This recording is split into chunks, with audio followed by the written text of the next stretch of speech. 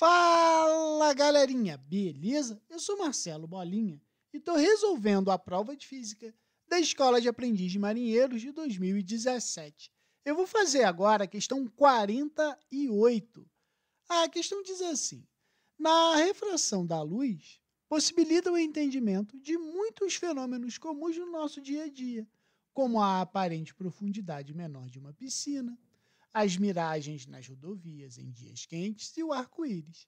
Sendo assim, analise as afirmativas referentes à ótica geométrica, analisando a seguir a opção correta. Bom, olha só. Antes da gente é, resolver a questão, eu vou lembrar com vocês algumas, é, alguns conceitos de refração da luz. Então, olha só. Imagine a seguinte situação. Né?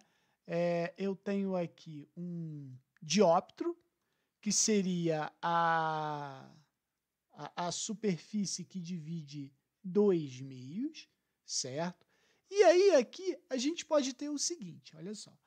É, a refração a gente pode entender como é um fenômeno que ocorre quando a luz passa de um meio para outro, tá? variando a sua velocidade.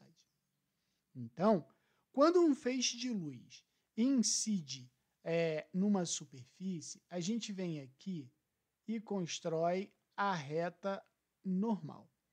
A reta normal ela vai ser sempre perpendicular à superfície. E o ângulo formado entre o raio incidente e a reta normal, eu vou chamar de ângulo de incidência. E entre o raio refratado e a normal, ângulo de refração. Beleza? Então, o que, que acontece? Se a, a, a, o raio de luz vai do ar para a água, a tendência é que ele se aproxime da reta normal. Por isso que quando a gente olha o, o, um peixe dentro da água, ele fica mais é, perto da superfície do que realmente ele está. E o contrário também é verdadeiro. Quando você olha da água para o ar, você vê os objetos mais altos do que realmente eles estão, beleza? Então, isso tudo é causado pela refração da luz, certo? Então, a gente pode dizer o seguinte, que quando um feixe de luz passa de um meio de menor índice de refração para um de maior índice de refração, o raio de luz vai se aproximar da normal e vai ocorrer a alteração na sua velocidade.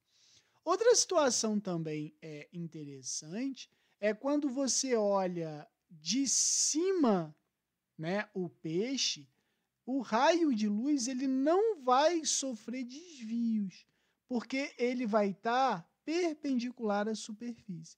Então, raios de luz perpendiculares à superfície não sofrem desvios, porém a velocidade da luz ela vai sofrer alteração porque ela vai estar tá mudando de meio. Beleza? Então, olha só. Analisa aqui a primeira, o primeiro item. A refração da luz é o desvio da luz ao atravessar a fronteira entre dois meios. Não é somente isso, né? Altera a velocidade e outras coisas, posição de objeto. Então, não, essa aqui está errada. A refração da luz é a passagem da luz de um meio transparente para outro, ocorrendo sempre uma alteração na sua velocidade de propagação. Resposta certa.